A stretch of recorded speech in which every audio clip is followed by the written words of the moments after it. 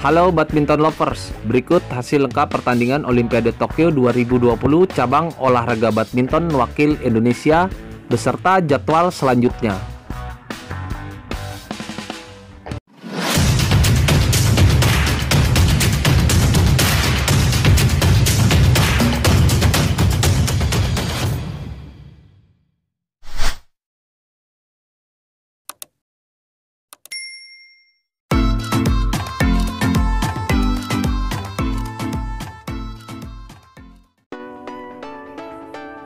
Hasil pertandingan Olimpiade Tokyo 2021 cabang olahraga badminton babak penyisian.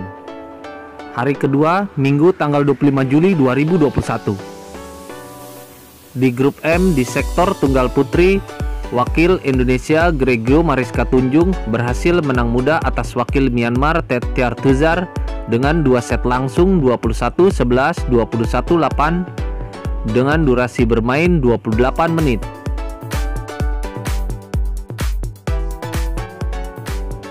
Di grup J di sektor tunggal putra, wakil Indonesia Antoni Sinisuka Ginting berhasil menang dua set langsung atas wakil Hungaria Gergely Kraus 21-13, 21-8 dengan durasi bermain 32 menit.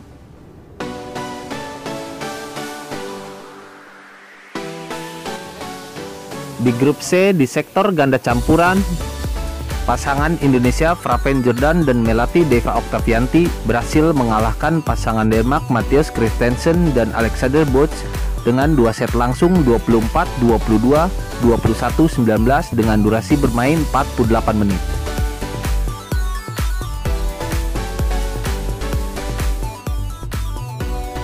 Berikut jadwal Olimpiade Tokyo 2021 cabang olahraga badminton babak penyisihan hari ketiga Senin tanggal 26 Juli 2021. Dari sektor ganda campuran di grup C,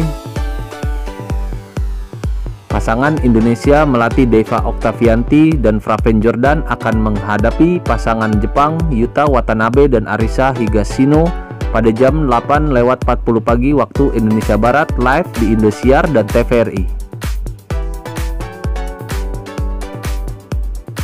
Dari grup A di sektor ganda putra Pasangan Indonesia Kevin Sanjaya Sukamulyo dan Markus Gideon akan menghadapi pasangan India Ranki Reddy dan Chirag Shetty pada jam 10 lewat 40 pagi waktu Indonesia Barat dan akan disiarkan langsung live di Indosiar dan TVRI. Masih di hari Senin tanggal 26 Juli 2021 dari grup A di sektor ganda putri Pasangan Indonesia Apriani Rahayu dan Gracia Poli akan menghadapi pasangan Inggris Raya Lawrence Smith dan Chloe pada jam 4 sore waktu Indonesia Barat dan disiarkan langsung live di Indosiar dan TVRI.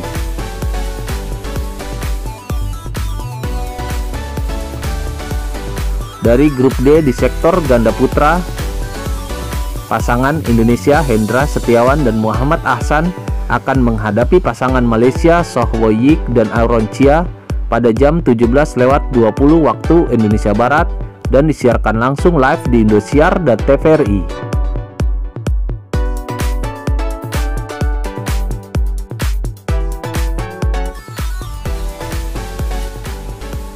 Mari sama-sama kita dukung dan doakan atlet Indonesia yang sedang berjuang di Olimpiade Tokyo 2021 dan semoga meraih hasil yang terbaik. Terima kasih sudah menonton video ini. Salam olahraga.